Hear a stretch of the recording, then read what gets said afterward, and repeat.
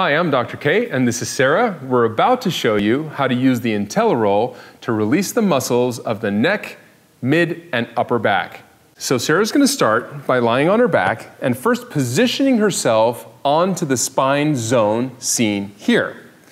Once there, she's gonna bring her heels under her knees to get more power out of her legs. So first thing Sarah's gonna do is she's gonna push with her legs until she feels her body lifting, and then she's gonna set her pelvis right back down. And what you'll notice is that her neck will go into the proper contour of the neck. You'll feel this is correct because your shoulders will be elevated off the ground slightly. What this does is it opens up the bottom of the neck and the junction between the neck and the upper back. Once Sarah's in there for about 30 seconds, now we're gonna interlace our fingers and hold our, support our head.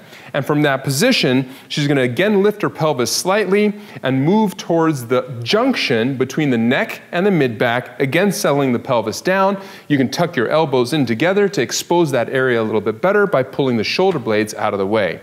So before we even roll, we're just going to settle into those positions just to gain some extension in our mid back. Very vital to all the loss that happens from our forward postures throughout our day. So bringing the heels back under her knees, she's going to move towards the midsection now, again settling the pelvis down and laying back down on it, again gaining extension in the mid back. Once she's done that throughout her spine, now she can start rolling. So now she's going to lift her pelvis slightly off the ground and she's going to use her legs to move up and down through that area.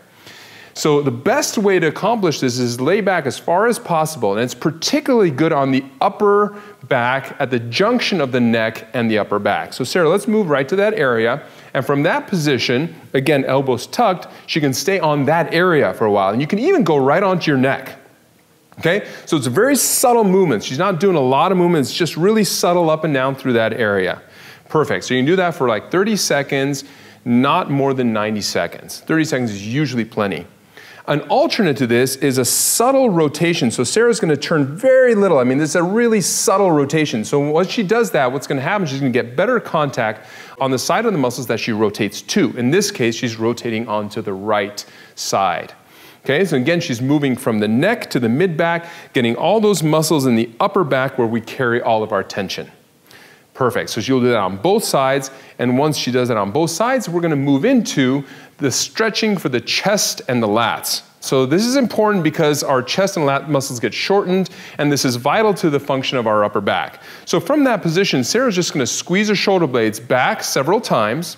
And by doing that, she's going to get a nice opening through her chest. In fact, if you move slightly towards the base here, where you're on your upper mid back, you'll get even a little bit better stretch.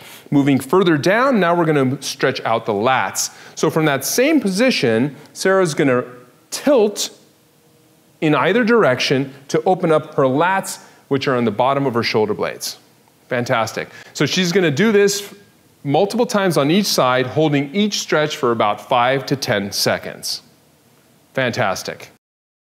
And the last release we're going to do for the neck and upper back is an area we call the subocciput. The subocciput is the base of our skull at the top of our neck. And Sarah, if you turn, we're going to show our audience. So the subocciput is right here.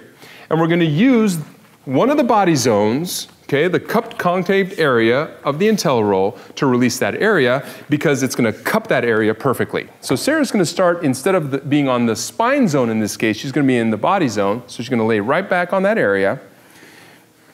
And this release is, is really simple. So all she's going to do from that position is she's just going to turn her head right and left. Okay, slow and deliberate. She's going to massage the muscles right at the base of her skull. She's going to repeat that five to 10 times, maybe a little bit more as necessary, but she's just going to roll side to side, turning her head right and left. And that takes care of IntelliRolling our neck, mid, and upper back, as well as stretching our chest out and our lats out.